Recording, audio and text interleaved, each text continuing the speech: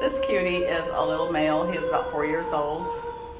Came in 1116 with another adult male. Hi, handsome. Hi, handsome boy.